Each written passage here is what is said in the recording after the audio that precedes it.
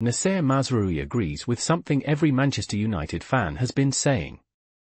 Noussair Mazraoui described himself as a versatile player after Manchester United's win against Bodo Glimt in the Europa League.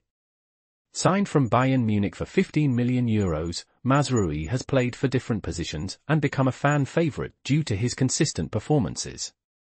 He emphasized his willingness to help the team in any position and the importance of winning for the supporters. Please subscribe to my channel.